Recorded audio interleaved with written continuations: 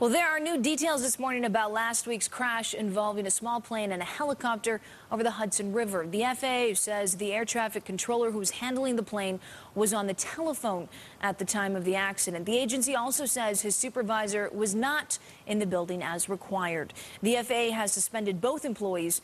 Nine people died in the crash.